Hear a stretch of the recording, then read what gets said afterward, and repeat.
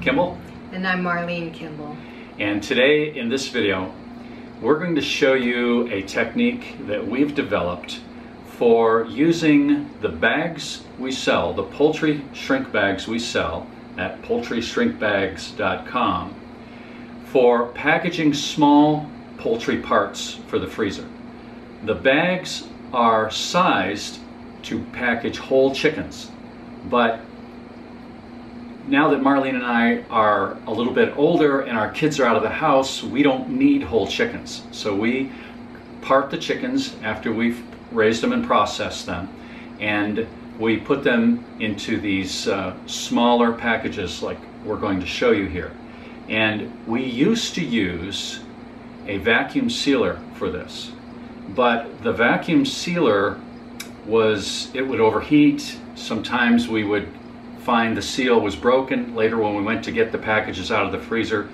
This method we're going to show you is much more dependable and uh, we, we just think it's superior to vacuum sealing and I think you'll see that yourself. So Marlene, tell them about the bags. Okay, these are 10 by 16 laminated barrier poultry shrink bags. They are 65 microns thick they're made especially, specifically for chickens or poultry. Um, they are USA made. Yeah. They are BPA free, and we think they are the best. Yeah, these are good. packaging our chickens. Yeah, they're the best for packaging your chickens. These are good quality bags. We feel very good about selling them. Did we tell them that we've sold over a million of these in the over past five million. years? That's a lot of bags. Yeah. Okay, so let's uh, show you the tools that we're going to use to make smaller bags out of these and um, get and package our poultry. Okay, let's go. All right. Okay, well here's Marlene. She's going to show us, before we get into the tools and the techniques for freezing parts using our bags, Marlene's going to show you the finished product here. Okay. Okay, so we have some chicken here that's been all frozen. Um, we part up our chicken because there's just the two of us and we don't need a big whole chicken. Here is, actually this is half of a chicken breast. These two make the whole breast of a chicken. Our chickens this year were huge. They came out six and a half to eight pounds. So one breast, I weighed this, one half a breast is a pound, over a pound. So for Herrick and I, um, this is plenty of meat, just one half of a breast. then we have the thighs. I put four thighs in a package because if I'm going to cook two, I might as well cook four. We can use it for soup. We can have it later in the week, whatever. Okay. Here are two legs. These are the whole legs, the thigh and the drumstick. This is, obviously the chicken doesn't have all these thighs, but I'm showing you how we do different packages. Mm-hmm. Four different ways I want to cook. Mm-hmm. Okay? Yep. These are, uh, I want to show people good and These hard. are all frozen. Yeah.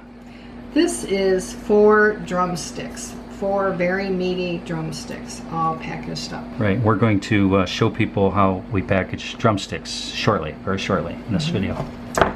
And then we have wings. We don't just do a couple wings. We do a big package mm-hmm. package of wings, and then we can have a wing party, Yep. or we can have pizza and wings, or whatever. Well, that sounds good. They are awesome. Mm-hmm. Homemade wings are awesome. Okay. Now, this is liquid gold. Because once you make your own chicken stock, chicken broth, you won't go back to store bought ever. It's not the same. Okay, I use the recipe from the Ball Blue book, roughly. I rarely go by exact measurements. I just throw in what we have. You've come to that point. You're so good, you don't even need the book anymore. I guess. Yeah.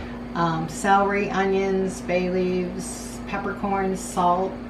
Yeah. Um, this is made from the backs and the necks. After we've parted up the chicken, we have the backs and the necks left. hmm and I cook it down with those ingredients um, for several hours, and um, then we strain it and I can it 25 pounds of 25 minutes at 10 pounds of pressure. Mhm. And this is indispensable. Mhm. We use it for soups, soup base, um, gravy. Um, sometimes we just drink it heated up by itself when Mhm. we don't feel good. You just want a little broth. Mhm. Um, it's awesome. Special stuff right there. Sometimes I think this is my favorite part of chicken yeah. processing. there. Yeah. Okay. Yeah. There Okay. you have it. This is a PFS 300 impulse sealer. And this is what you need if you want to seal these poultry shrink bags and uh, take large bags and turn them into small bags, just like we're going to show you shortly. But this tool is so inexpensive, it's ridiculous. You can buy one today, I just looked, for $26.99 with free shipping from eBay. It's a PFS 300, as I said. It's got a 12 inch um, sealing bed there.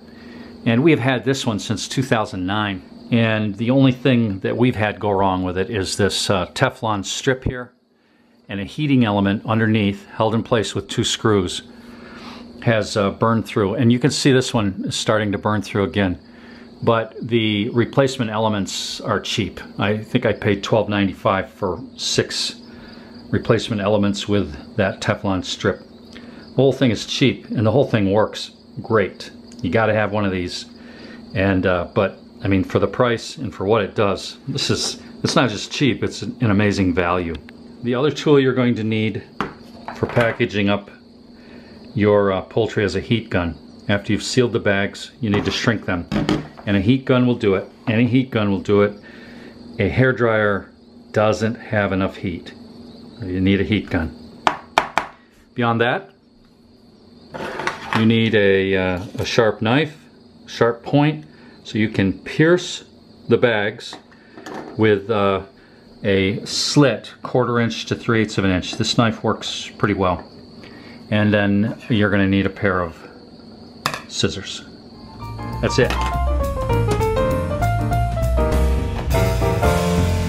Here is what the lovely Marlene is going to package for us today. These are four drumsticks that uh, came from chickens we raised this year. We raised 30 of them in the front yard in a chicken tractor. And um, we got about 200 pounds of meat, we figure. And uh, they, were, they were beautiful birds. So these drumsticks are what we're going to see now. Okay, Marlene, show us how you do this. Okay, so I'm going to put four drumsticks arranged nicely and neatly into the bottom of this bag.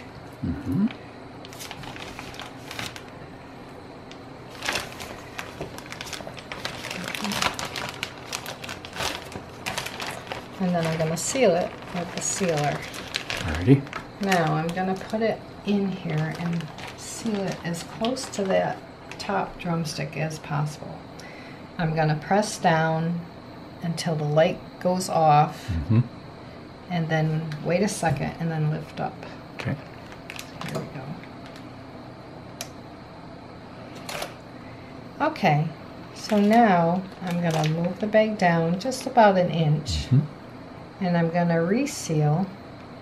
And what I'm doing is making the bottom of a second bag. Smart. There we go. Now, take my scissors and I'll just cut right down the middle of those two seams. Great. There we go. Yeah, let's take a close look at this. Show everybody how nicely that's sealed. Yeah. Simple. Good seal. It's great, Marlene. Now, what? Okay, so now I have a second bag made from the top half of the original bag. And see, I have a new seal all ready. And I'm gonna put four drumsticks in this half. Okay. Boy, they're big drumsticks. I hope they fit. These are big drumsticks. These chickens this year came out much bigger, much heavier than Yeah, we usually get. they were beauties. We averaged from six and a half all the way to eight pounds. Mhm. Okay. So I've got my new bag and it's gonna fit and seal perfectly. You gonna make it? So I'm going again, I'm gonna seal right close to that top drumstick. Okay. I go down, wait for the light to go off, wait a second, and then come up. And then I just do a little trimming.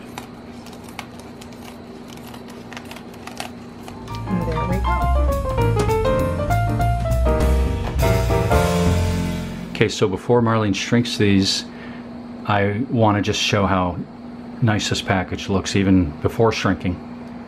It uh, it's sealed tight, and it's ready for you to do what you're going to do there, Marlene. Okay, it is sealed tight. However, the way it is now, there's a lot of air in there. With air comes freezer burn. So I'm gonna shrink it up with this heat gun, which these bags are made for shrinking. Mhm. Okay, Yep. so I'm gonna turn it on. Let it rip. Now I'll go around the edge. Just make a pass right around the edge of it. And what has created, been created, is a bubble in there. And I'll just carefully make a little slice, Uh-huh. and then that will make air be released out of there. It has a place to escape. Yeah, shrinks tighter. Right, get the Okay, back so side. Then we do the back side. Just gently, you don't put a lot of heat on there. If you overdo it, the hole opens up Yeah. too and far. I can get little ears that might be stuck around. Mhm. Okay. So now we have a hole Right, I, that needs to it. be covered. Yeah, it's right there. Hole. It's kind of bigger than sometimes. Okay. So we put a freezer label Mhm. over it. Seals the air, seals it off, Seals it off. and tells us what we got. Huh? Okay, tells us what I got. Yeah. With our freezer labels that we sell, I cut them in half because I'm frugal and a half of a label is plenty. Uh huh. I also always put the year because we have overlapping years of chicken in our freezer. So I have the year and then what's in it and how many. Now, um, usually we just eat two drumsticks at a meal. It's plenty. But if I'm cooking two drumsticks, I might as well cook four or bake four because um, we can just have chicken a couple times that week or I can make soup out of the other two, or all four. So we're all set for the freezer now. Lovely. Thank you, Marlene.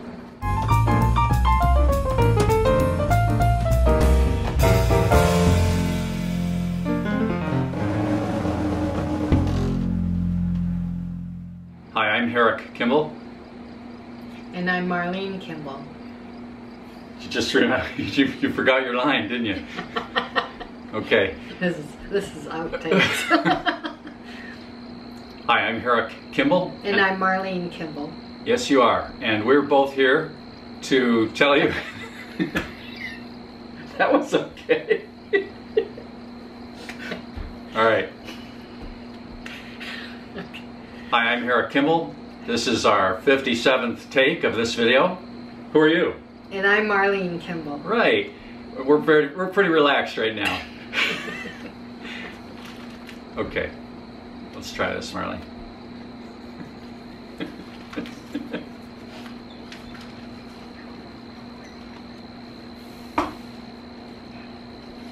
no, we haven't been drinking. Come on, it's recording. I got a tear in my It won't pick it up.